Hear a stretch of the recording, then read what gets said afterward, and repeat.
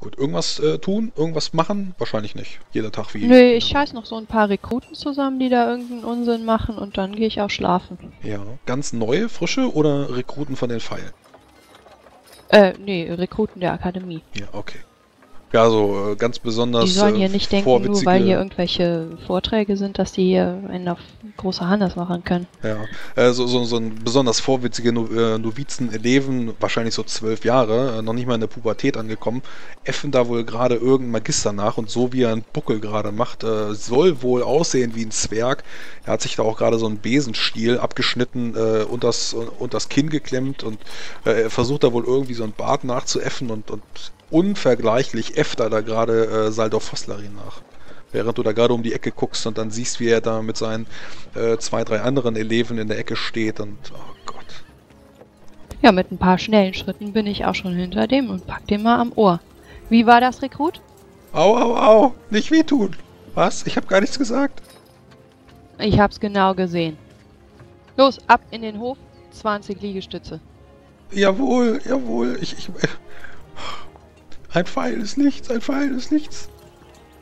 Wird's bald, Rekrut. Ja, äh, humpelt dann weiter, äh, die anderen Freunde bleiben dann da mit offenem Mund stehen.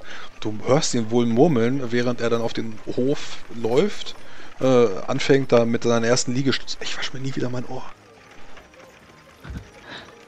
Äh, ich guck mal die anderen an, die hier rumstehen. Und ihr habt ihn nicht aufgehalten? Hm? Äh, also, wir, wir, wir, haben, wir fanden das gar nicht lustig. Wir wollten das eigentlich gleich melden. So seht ihr mir aus. Raus auf den Hof. 10 Je- Liegestützen von jedem von euch. Was? Aber es, es, es gibt keine Bestrafung für alle. 15. 15? Oh, wir machen 10. Wird's bald? Ja. 10 oder 15 jetzt? Jetzt sind es 20. Los. Jawohl. Äh. Deine Generation damals in Beilung ausgebildet. Da wussten die Leute noch, was sie, wofür sie kämpfen und da alles verweichlichte Waschlappen. Wir haben noch gespurt, aber die Jugend von heute, die sich hier in der Kaiserstadt das gut gehen lässt. Mhm. Vor allem, wenn man sich dann irgendwelche äh, Pakete von irgendwelchen Laufburschen bringen lässt, mal mir nichts, dir nichts an den, äh, an den Tempeltoren vorbei mit irgendwelchen Süßigkeiten. Süßigkeiten, das hätte es damals nicht gegeben. Honigbonbons. Gut. Jalan Greifenmund Drachentöter ohne Land trifft beim Bandstrahlerturm ein. Und kannst da dann Meldung machen oder wo möchtest du hin? Ja, bei meinem Hauptmann. Beim Herrn Hauptmann. Oder bei seinem Hauptmann, wenn der aus einem anderen Banner war, ist mir egal. Also Mhm. vermutlich eher bei seinem. Gar nicht mal so sehr, weil die den Magier ein bisschen grob angepackt haben, sondern einfach, weil es uns, die wir ja Maß halten sollen, schlecht dastehen lässt. So, Fenrich. Vortreten. Was gibt's denn? Hauptmann, salut hier erstmal. Ja, Geordneter Moment. Zeuge wie vier unserer Brüder ein Rechtschaffen, ein Magier der Rechtschaffen unterwegs war, ziemlich hart angepackt haben. Ja, der Vorfall, den hat mir Griff Purga von Auralet eben gerade schon gemeldet. Also sie sagte wohl, äh, er wäre angetrunken gewesen und äh, hat götterlästerliche Symbole auf die Häuserwände geschmiert. Der Mann äh, war ein weithin bekannter Entschwörer, der sich leider rechtschaffen verhalten hat. Und dass unsere Männer mal wieder über die Stränge geschlagen sind, fällt immer noch schlecht auf uns zurück. Gerade dieser Tage. Ja, ich habe schon gehört, der ein oder andere Rüffel, der mal reinkam. Gerade wenn jetzt nach und nach immer mehr von den Leuten reinkommen. Ich werde sie nochmal zurechtweisen. Ihr wart da so Gerade jetzt- gewesen. Gerade jetzt müssen wir wachsam sein, aber wir können das Reich nicht vor den Ausländern blamieren. Ja, da habt ihr schon recht. Aber Raios Gesetze werden sie sich trotzdem alle halten müssen. Da kommt keiner. Aber, nat aber natürlich, dafür sind wir da. Hauptmann, Ausgezeichnet, Fenrich, danke. Ich gehe dann noch zur Abendmesse und hau mich dann hin. Gut. Ich habe Abel mir noch vergessen, aber der ist damit beschäftigt, die äh, Jungs einzuhüten. Genau, Und die, Ich glaube- Gabeln der, und, und die Gabeln der Prutz zu zählen. genau. Und Ich die glaube, dann haben wir alle, ne? Speisekammer zu verschließen. Gut, dann ähm, könnt ihr alle regenerieren, ganz normal. Es gibt hier keine Albträume, zumindest noch nicht. Ähm, ihr seid sowieso eigentlich alle voll, natürlich. Und wir schreiben den nächsten Tag. Das ist der 26. Fex 1027. Ähm, ich hatte ja bereits angekündigt, dass der erste Turniertag für diejenigen, die noch teilnehmen möchten, der 29. Fex ist, das der erste Turniertag. Da soll das Ganze eröffnet werden und ähm, es wird eingeleitet mit der Tjoste und dem Zweikampf äh, mit leichten Waffen, der wird dann am nächsten Tage stattfinden. Das heißt, am ersten Tage wird die komplette Tjoste abgelanzt. Äh, wer sich noch anmelden möchte, für egal was, der muss das bitte bis zum 29. Fex tun. Aber ihr habt ja auch noch andere Punkte auf eurer Liste, unter anderem der Vogeltod ähm, und das, was euch noch sonst so einfällt. Wenn ihr nichts habt, können wir gerne auch springen. Also ich finde mich am Morgen dann erstmal bei den Leuten ein und schleift die dann alle zusammen zum Anmelden. Genau. Ähm, ich würde, bevor ich die Akademie verlasse, noch zu Hauptfrau Dasambra vorbeigehen und von dem Vogeltod berichten und dass ich mir das ansehen werde. Vogeltod. Davon wurde mir bisher zumindest noch nichts berichtet. Habt ihr da genaueres jetzt schon? Oder wird das dann später im Bericht stehen? Ich denke doch, dass es im Bericht stehen wird. Also eine vertrauenswürdige Quelle hat berichtet, dass es wieder tote Vögel gibt. Das sehe ich mir mal im Laufe des Tages an. Ja, danke. Dann werde ich schon mal einen Novizen in Richtung des Aves-Tempels schicken. Der ist ja auch gleich hier um die Ecke. Gut, danke. Abtreten. Jawohl. Ja, und dann mache ich mich auf den Weg zu Abelmirs Haus. Ja, ich gehe einfach davon aus, dass ihr euch jeden Tag äh, morgens einmal bei Abelmir verabredet. Ich glaube, das ist sinnvoll. Äh, einmal irgendwelche Neuigkeiten austauschen und dann gemeinsam durch die Stadt ziehen. Wenn ihr das halt nicht wollt, dann halt nicht. Dann sagt das nochmal gesondert. Gut, ihr trefft alle bei Abelmir ein. Ja, ihr trefft bei Abel mir ein, seht schon, wie ich da äh, neben Jadan stehe, ihm äh, Arm um die Schultern gelegt habe. Kapitän, ich muss mich bei euch entschuldigen. Ja, aber warum diesmal? Ihr hattet recht. Diese Stadt ist wirklich nicht schlecht. Ich habe da diese wunderschöne junge Halbelfe gesehen. Ich weiß nicht, ob ihr mir besser gefällt oder Angst macht. Aber ja, man gewöhnt sich erschreckend schnell an Garrett. Ja, die Stadt hat ihre Vorzüge. Es war, es war aber nicht die Halbelfe, die gestern noch auf der dritten Seite im Boden war, oder? Nun, wer weiß. Ihr solltet aufhören, solche Schundblätter zu lesen. Und dann, ich würde sagen, wir machen uns erst einmal an der Arena vorbei. Damit ihr euch alle anmelden könnt. Und dann einen kleinen Ausritt. Ja, eine gute Idee. Wofür wollt ihr euch anmelden? Für alles natürlich. Schon wieder? Für alles? Alles? Und nicht fürs Messer werfen. Messer Ja, stimmt. Es gibt ja hier keine Dreijährigen. Äh, Gräume meinte ich. Träume, wichtig. Wohl wahr.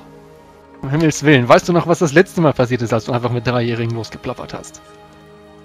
Die Leute haben nicht gesehen, was wir gesehen haben, verdammt. Ja, deswegen habe ich Dreijährige? mich auch sofort Also- korrigiert. Kapitän, was habt ihr gemacht? Lasst uns einfach gehen. Was in den schwarzen Landen war, das bleibt in den schwarzen Landen. Ah, Da lässt man euch einmal aus den Augen.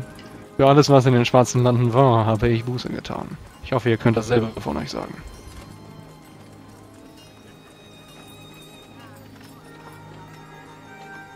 Auf der neuen Residenz, dem weitläufigen Palast der Kaiser, wehen die Greifenbanner im Wind. Euer Ziel jedoch ist Altgard, wo sich die Gebäude stets am größten, nach der Pracht der Erhabenheit sehnen, sich gegenseitig übertrumpfen.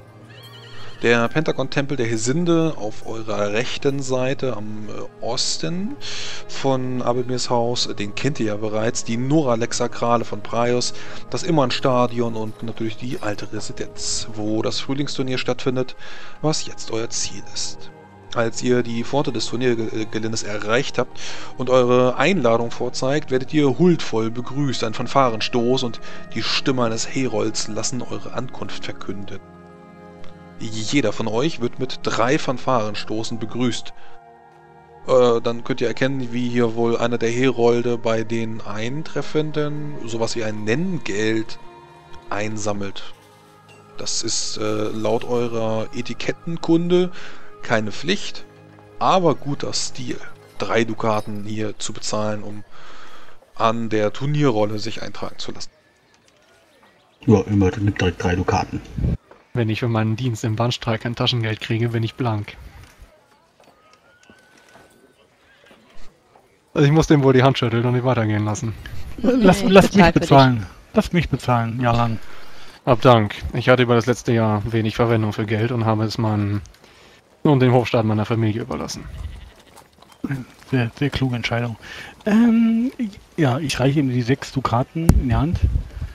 Und. Aber, ja, Jalan, wenn ihr, wenn ihr wollt, tragt euch ein. Soll ich euch mit eintragen? Wohin denn? Ähm, ich würde sagen, ein Handwaffen. Die leichten Waffen, natürlich. So, schauen wir mal nach. Ähm, ihr könntet euch dann, wie gesagt, äh, im Turnierhof eintragen lassen. Der Marschall, der Turniermarschall ist Rondrasir Löwenbrand von Arivor, der Herrmeister der Rondra-Kirche. Den kennt ihr schon aus. Kleinwadstein. Korrekt. Ähm, aktuell anwesend hier wird das Ganze verwalten. Ich schaue gerade mal nach, äh, wie die Regularien sind. Die Teilnahme am Frühlingsturnier steht generell jedem offen, der sich ritterlich zu benehmen weiß und so aufzutreten weiß.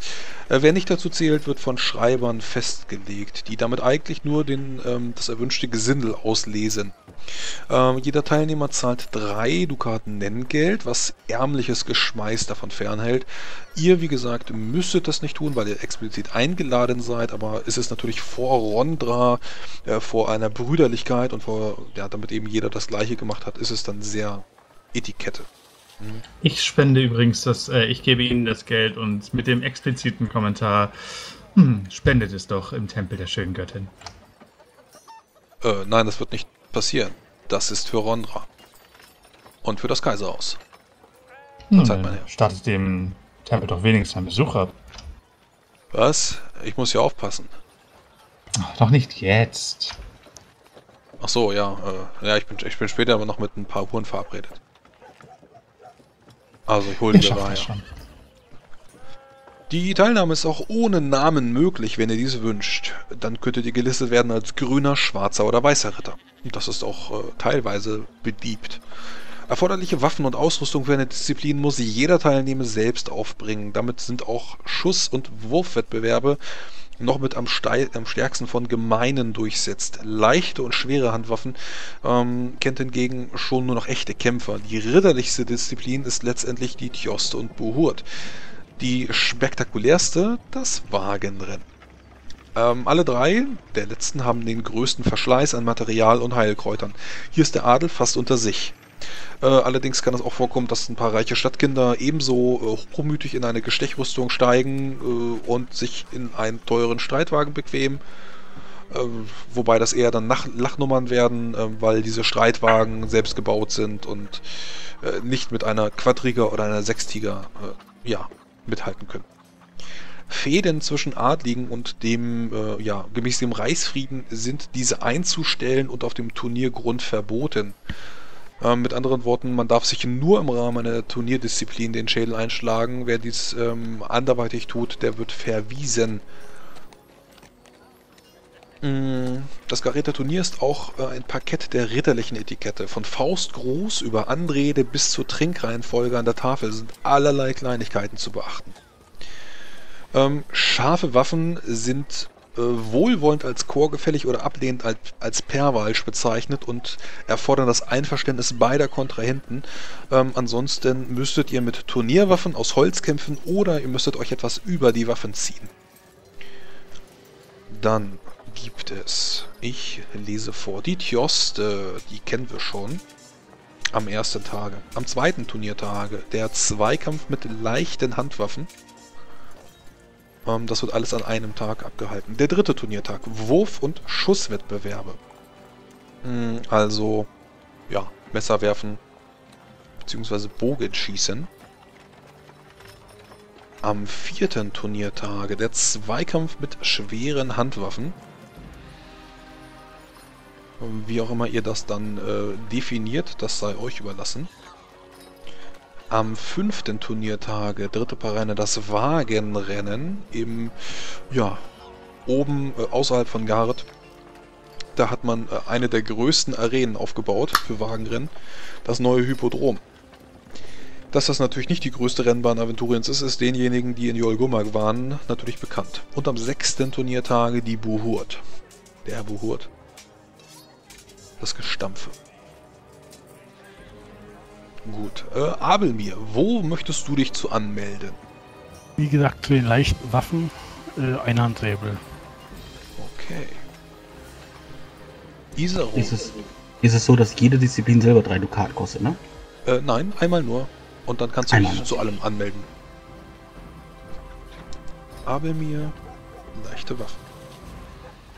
Isarun möchte sich anmelden zu den leichten Handwaffen und zum Buhurt. Zum Buhurt. Zum Mhm. Buhurt. Oh, Jetzt habe jetzt hab ich Respekt. Jetzt, okay, na gut. Also leicht und Buhurt. Na gut. Chiaras. Nun, zum einen leicht mit Rapier und Linkhand.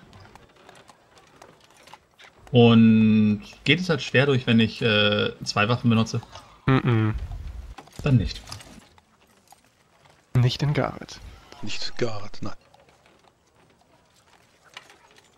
Hm, Wie sieht's aus mit Pferden, mit Reiterei?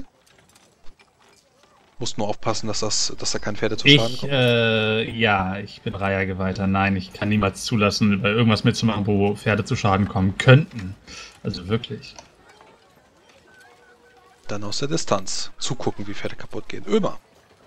Ja, immer möchte sich ganz gerne für das äh, Bogenschießen oder Bogenarmbrustschießen, glaube ich, in einem äh, sich anmelden. Bogen und Arm, ja, Bogen, ja, genau. Bogen, ich glaube, das ist, ich weiß nicht genau, wenn das eine ist, wenn das, also zum Ähm, Bogenschießen. wir, wir, wir kämpfen unter Arondra und dementsprechend Bogen. Gibt Gut, Ahnung. Bogen. Arm, Armbrust, das kann jeder, weil, naja, einfach aufs Ziel halten und abdrücken, das macht keinen Spaß. Bogenschießen. Rafim. Ja, ich mache bei den schweren Waffen mit und wenn ihr drei Dukaten von mir möchtet, fange ich nur leicht an zu lachen. ist okay. Äh, wie gesagt, auch du hast eine Einladung bekommen als äh, Held Aventuriens, hast natürlich auch schon einen gewissen Ruf dir erarbeitet. Ähm, nicht unbedingt dadurch, dass du bei der Basaltfaust bist, aber äh, hast natürlich auch schon viele andere Dinge äh, als Söldling getan, als Soldat für verschiedene Herren und hast ja auch dadurch deinen Namen schon gemacht. Auch wenn es nur ein Vorname ist und nie für einen Nachnamen gereicht hat. Jalan. Ja, einen Moment, ich muss ganz kurz Arroganz würfeln. Alle außer dem Messer werfen. also es ging auch darum, dass du doch mal Messer werfen machst. Ja, richtig. Gut. Aber nein, da blamier ich mich nur. Ja, ähm, Tjoste, leichte Handwaffen, Schusswaffen, Schwere Handwaffen, schwere Schusswaffen, Handwaffen, Wagen, Buhurt. Lanzenreiten. Gut.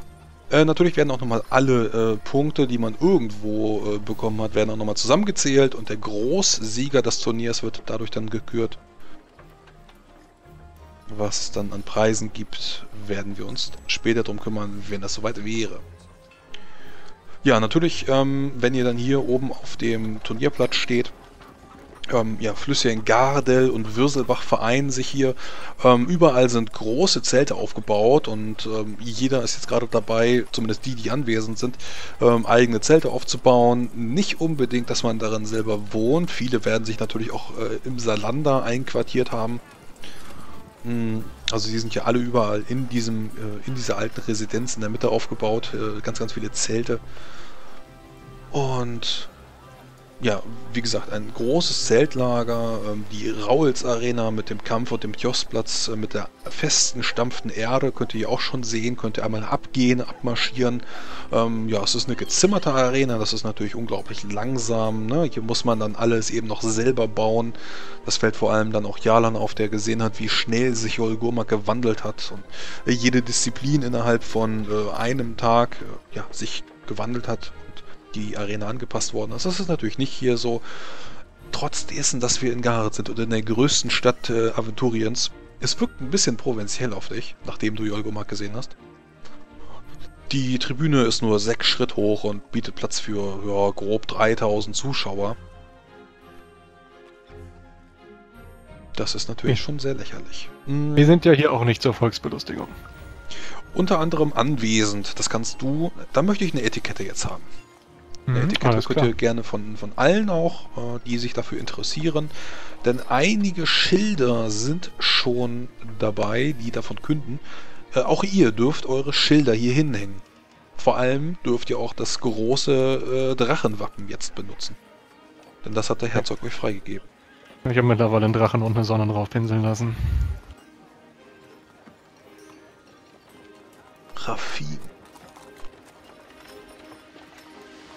Ja, Rafim hat natürlich von den Granten einen gesonderten Auftrag bekommen und hat von jedem einzelnen Schild schon gehört. Was die Granten damit wollen, was sie damit vorhaben, ist natürlich ihnen überlassen. Ja, kennst jedes einzelne. Hochkönig Albrax, Sohn des Agam, ist wohl hier. Der König der Amos-Zwerge. Der König aller Zwerge. Graf Orsino von Falkenhaag soll wohl auch dabei sein. Der schöne Graf vom Angbarer See, so wird er genannt, äh, der allerlei Frauen um sich herum versammelt hat. Äh, Ja, ist wohl ein wichtiger Höfling am Kaiserpalast. Dom Eslam von Eslamsbad, Graf vom Jagdviertal. Ähm, ein eleganter almadanischer Cavaliero mit dunklem, glänzenden Pferdeschwanz, Oberleppenbart, ein typischer, ja, äh, nicht ganz Horasier, aber die Almadaner sind halt genauso geleckt. Griff Purga von Auralet ist anwesend, die Bandstaderin, die heute Morgen, na, gestern, gestern wohl auch ein paar Probleme gemacht hat. Auch die hat sich angemeldet. Graf Rondrigan Paligan von Pericum. Der neue Reichsgroßgeheimrat. Der neue? Was hört man von Nemrod? Nichts. Nemrod ist verschwunden. Verfluchte. Marschall Ludolf von Wertling, auch den kennt ihr, wird ebenso mitkämpfen. Hat er sich also wirklich aus der Stadt des Lichts herausgewagt? Mm, Graf Barnhelm von Rabenmund, auch er ist hier. Ähm, Agunde von Falkenhag, es folgen viele Namen, die euch nichts sagen. Äh, Gundwin vom Großen Fluss, Alrik Blautern vom Berg. Hm, Den kennt man noch irgendwie. Ähm, Talorion Tannensang. Ein Elf, der wohl jedes Jahr seit mehreren hundert Jahren das Bogenschießen gewinnt. Na, wenn das mal ohne Magie vor sich geht. Melvin Störrebrand, der Hofmagister, auch er ist irgendwie anwesend. Thorn Eisinger hat sich angemeldet. Ganz Gareth versammelt sich hier, um Wird- zu streiten und Herondra. Hm, wird die Prinzessin mitkämpfen? Ähm, Ema selber als Königin, man munkelt, ich sie ich wird- meine, oh ja. Ja, ja, Ema selber wird wohl antreten. Äh, offiziell angemeldet ist sie noch nicht, aber so wie man sie kennt, ja. Und Ema hat es der Tochter verboten. Rohaya. Die darf wohl nicht. Bedeutet also, wir haben irgendwo einen weißen Ritter, der sehr königlich aussieht. Das wäre natürlich die Musterlösung, genau. Äh, Ein weißer Ritter mit äh, Maske, ohne Wappen, ohne Namen und äh, dann, wenn er alles gewonnen hat am Ende, dann kann er seinen Helm vom Kopf ziehen und am Ende ist es eine Frau. So sind zumindest die ganzen großen Heldengeschichten. Wenn man, das wäre so typische aventurische Boote, das wäre so das, was Ragnar Heldenmund reingeschrieben hätte.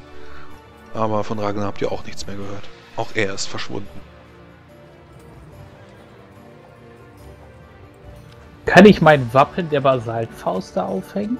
Also kann Was? ich mir das A besorgen, B da aufhängen? Klar, Ja, dann hänge ich das da auf, mein Freund. einfach nur die schwarze Faust. Sag mal, Ich mache Rafim, es ganz ähnlich tatsächlich. Und zwar hole ich meine Flagge heraus. Die schwarze Seidenflagge mit dem Zeichen der Karinos drauf. Was ist darauf abgebildet? Das Zeichen der Karinos. Flügel und Rose oder was ist das? Genau, Flügel und Rosen. Schwarz und weiß. Und die Flagge selbst ist aus schwarzer Seide.